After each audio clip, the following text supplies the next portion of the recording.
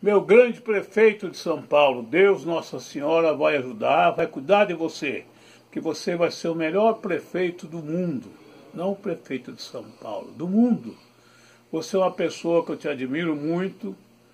Na sua campanha, eu fui no seu camarim, já visitei lá a sua esposa, onde ela tem os produtos dela lá, os, como é que chama, meu Deus, o, os artesanatos dela.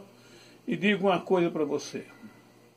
Eu quero um dia estar junto com você para puxar aplauso aí. Aquilo que eu faço para o Silvio Santos, Dori, eu quero fazer para você. Me chame que eu vou que você é o meu prefeito, meu futuro presidente da República. Tchau, Dori!